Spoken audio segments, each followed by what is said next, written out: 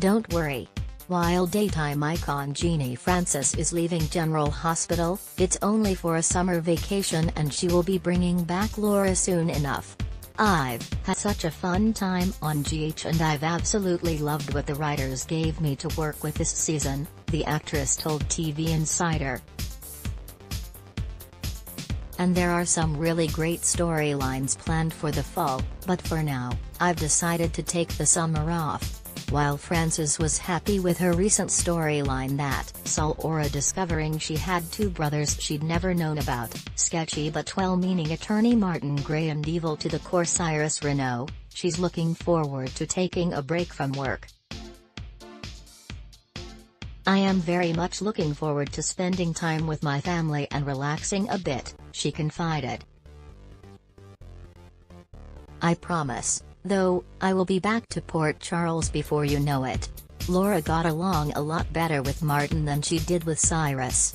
ABC Francis took over the role of Laura from Stacey Baldwin in 1977 and became a daytime star due to her pairings with Kin Shriner's Scotty and Anthony Geary's Luke. After quitting the show in 1982, she returned for a couple of brief stints before her big comeback in 1993.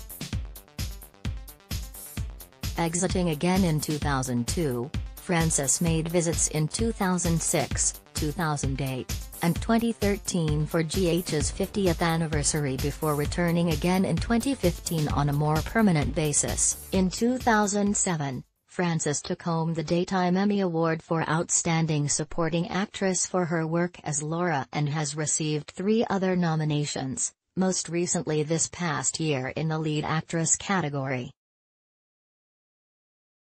There are no details as to when, exactly, Francis will last air or when she will be heading back to work at GH, so it's unclear as to whether Laura will be written off or simply not shown on screen for the duration of her portrayer's vacation.